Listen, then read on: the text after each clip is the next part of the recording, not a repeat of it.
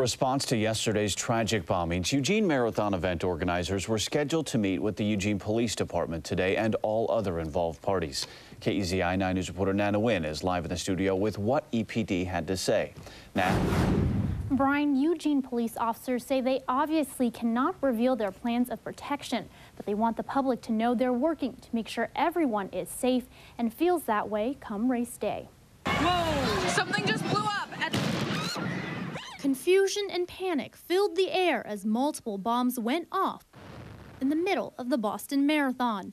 And while it happened more than 3,000 miles away, the impact was felt close to home. In less than two weeks, the city of Eugene will host its seventh annual marathon. Last year, thousands flooded the university campus and streets. But in light of yesterday's tragedy, folks wonder if we're ready for something like this. What this, this incident, this strategy has done uh, for us as a community and as a police force is to heighten our sense of awareness.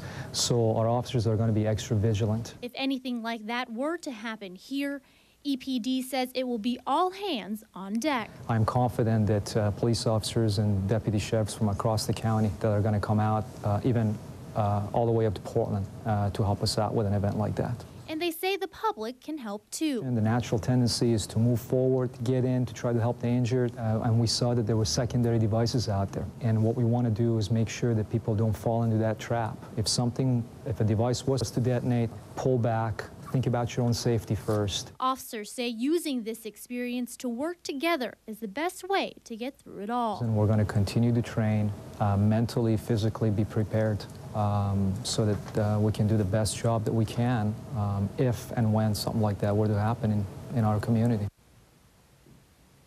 Now, as of yet, EPD says it doesn't have any reason or intel to indicate that something like this could happen here, but officers are asking the public to help out by just keeping their own eyes and ears open to anything suspicious. Live in the studio, Nana Wynn, KEZI 9 News.